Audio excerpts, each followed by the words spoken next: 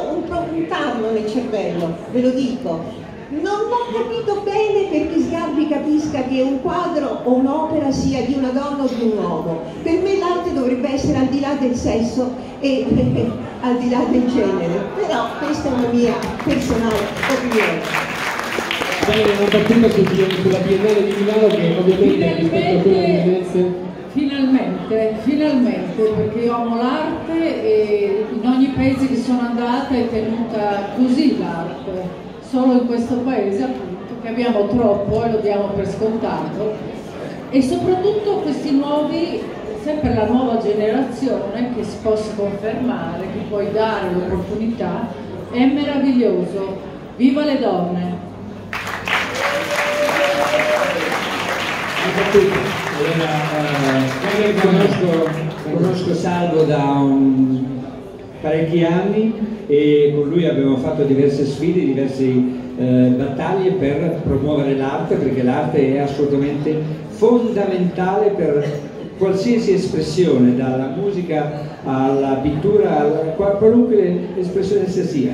Una cosa volevo dire prima, che un paese come l'Italia, visto che stiamo parlando di Italia, siamo tutti orgogliosi di essere italiani, ha un ministro della cultura, ne dovrebbe averne almeno tre per quanto è importante in Italia, ma siccome vive anche di turismo non c'è un ministero del turismo.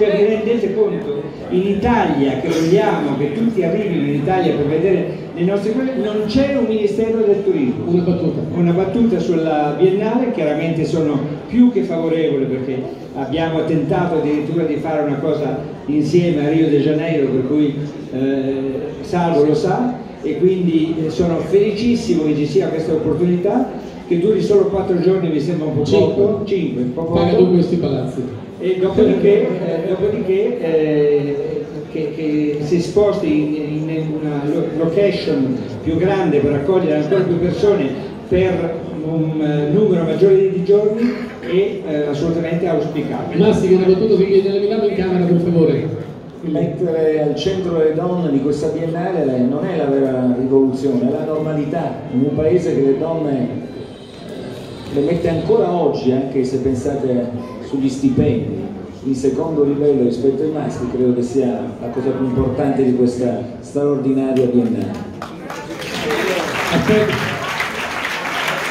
Grandi Giletti, possiamo strappare una promessa? Possiamo portare gli artisti in trasmissioni? dagli il microfono, era un sì questo? Sai che, sai che, le promesse io se le faccio le devo mantenere, quindi fammi meditare. Era un ni, un ni, dai, già un inizio. Ringraziamolo in anticipo che gli artisti della Vacinetti. Microfono a Giosquino per favore.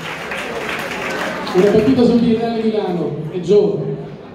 Uh, tu che sei di Milano sei una... Io sono milanese, eh, certo. vorrei iniziative a Milano Biennale l'arte sempre più, come diceva un po' Morgan, sempre più viva, quindi sempre nelle strade, perché credo che ci sia sempre più bisogno dell'arte. Proprio per combattere questa digitalizzazione, questo richiudersi in un mondo parallelo, oggi abbiamo bisogno invece di umanità e l'arte è il vero senso di umanità, il compasso che fa girare le nostre anime i nostri cuori.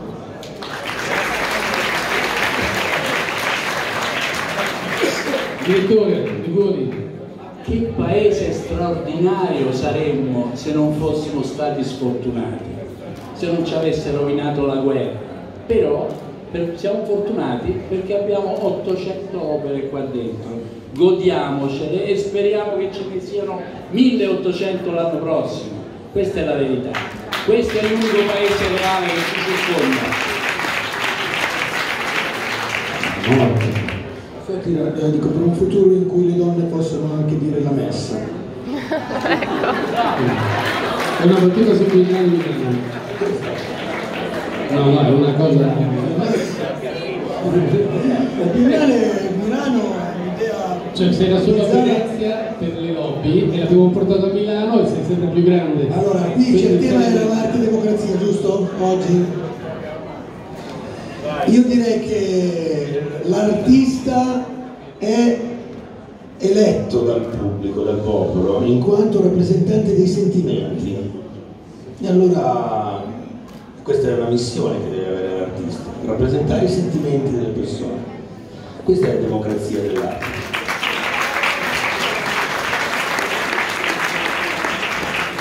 Professore Alberoni. Mirando per l'Italia, ho visto che a un certo livello trovi della gente straordinaria, che non sono tutti uguali, non sono tutti uguali.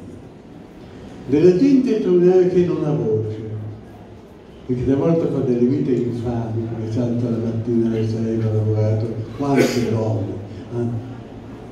Lui ha dato la parola a questa gente ha dato la parola a questa gente, agli artisti di questo livello.